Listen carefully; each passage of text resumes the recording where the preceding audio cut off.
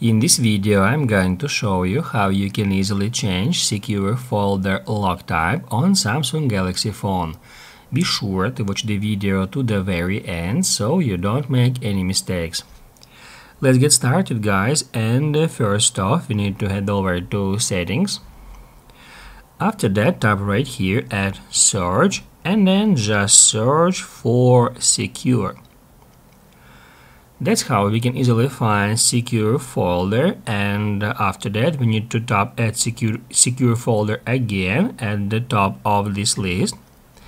And in here we can easily find lock type. Once we get into it we can configure it.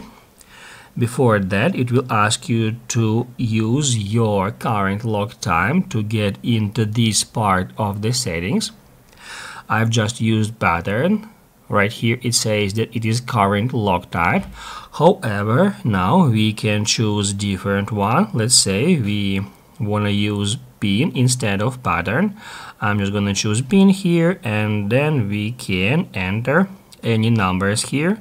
Then hit continue and then we need to re-enter them and hit add OK. As you can see I've just set pin as my current lock type for the secure folder and uh, from here we can easily change it to password or back to pattern and also here we can configure if we would like to use our fingerprints to unlock our uh, secure folder. If this video was helpful for you, don't forget to hit the like button.